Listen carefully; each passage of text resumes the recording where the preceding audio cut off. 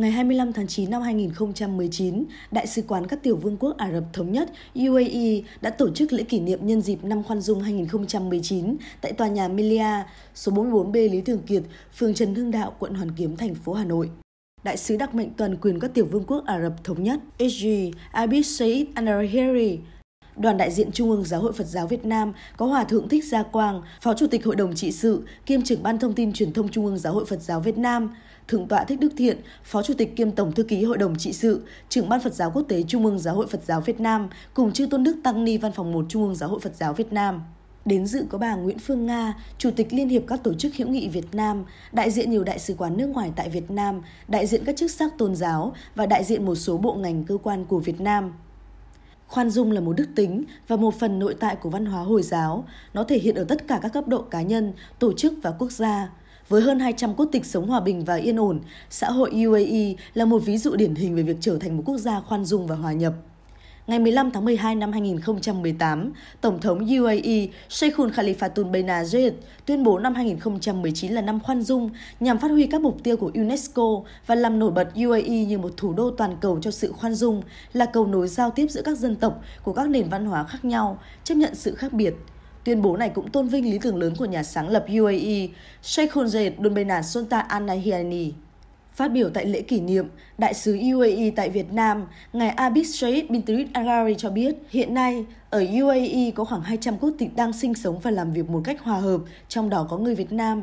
Điều đó khẳng định khoan dung ở UAE không phải chỉ đơn giản là lời nói, mà khoan dung là một giá trị mà chúng tôi tin tưởng và hành động vì nó, là giá trị cần thiết trong mọi mặt của cuộc sống và là một phần trong chính sách của chúng tôi. Chúng tôi tự hào vì UAE là một trong số các quốc gia có sự đa dạng và phát triển. Đó là nhờ việc thực hiện chính sách mở và toàn diện. Tại buổi lễ, thay mặt Giáo hội Phật giáo Việt Nam, Thượng tọa Thích Đức Thiện cũng đã có lời phát biểu chúc mừng cho UAE nhân ngày kỷ niệm.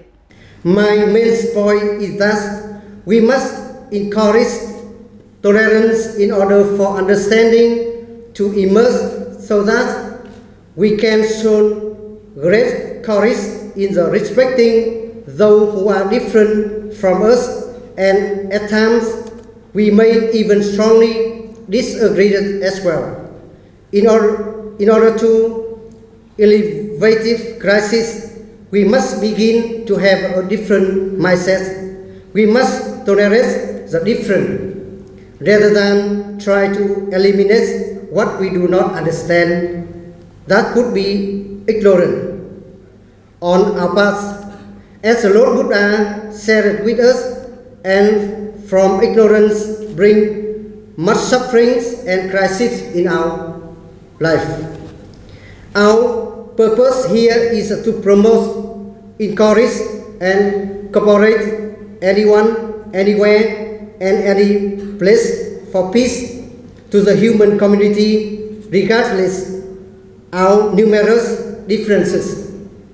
This UAE model of tolerance should be the good example for international community.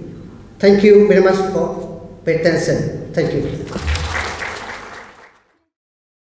Ngày 16 tháng 11 năm 1995, sau khi 185 nước ký vào bản tuyên bố, UNESCO đã thông qua lấy ngày này hàng năm là Ngày Quốc tế Khoan Dung. Tuy nhiên, mấy chục năm trôi qua, dường như Ngày Quốc tế Khoan Dung chưa được truyền bá rộng rãi và chưa thật sự có tầm ảnh hưởng trong xã hội. Khoan dung không chỉ có nghĩa là sự tha thứ mà còn là tôn trọng sự đa dạng, công nhận sự khác nhau về các giá trị, ngôn ngữ, tôn giáo, chủng tộc, chống mọi hình thức phân biệt đối xử. Được biết, trong số các hoạt động của năm khoan dung, Tổng thống UAE Sheikhul Khalifa đã ra sắc lệnh phụ nữ sẽ chiếm 50% thành viên quốc hội sau cuộc bầu cử năm 2019, hiện nay chiếm 20%. Đền thờ của đạo Hindu đầu tiên ở UAE cũng sẽ được xây dựng sớm và dự kiến hoàn thành vào năm 2020. Chiều cùng ngày, Thượng tọa Thích Đức Thiện, Phó Chủ tịch kiêm Tổng thư ký Hội đồng trị sự, trưởng Ban Phật giáo Quốc tế Trung ương cũng đã đón tiếp Hòa thượng Marika Jangdin Rinpoche, trụ trì tu viện Marika miền Đông Nepal, đã đến đỉnh lễ và chiêm bái tại chùa Phật Tích, huyện Tiên Du, tỉnh Bắc Ninh. Tại buổi tiếp, hai bên đã có buổi trò chuyện thân mật.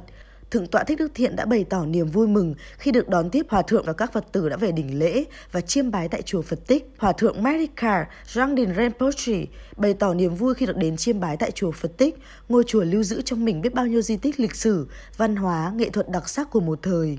Dịp này, Thượng tọa Thích Đức Thiện cũng giới thiệu về lịch sử của chùa Phật Tích, đồng thời cũng đã nêu lên những thành công tại Đại lễ Phật đản Vê sắc Liên Hợp Quốc 2019 vừa qua. Đại diện đoàn, Hòa thượng Marika Rangdin Rinpoche cũng đã trao đổi thêm về hoạt động của Giáo hội Phật giáo Việt Nam và chúc mừng Giáo hội Phật giáo Việt Nam đã tổ chức thành công Đại lễ Phật đàn Vê sắc Liên Hợp Quốc 2019. Buổi gặp mặt đã khép lại trong tình cảm ấm áp, chân thành và gắn bó đoàn kết của những người con Phật, cùng chung niềm hy vọng hướng tới xây dựng mối quan hệ giữa hai đất nước nói chung và Phật giáo hai nước nói riêng ngày càng khăng khít, bền vững.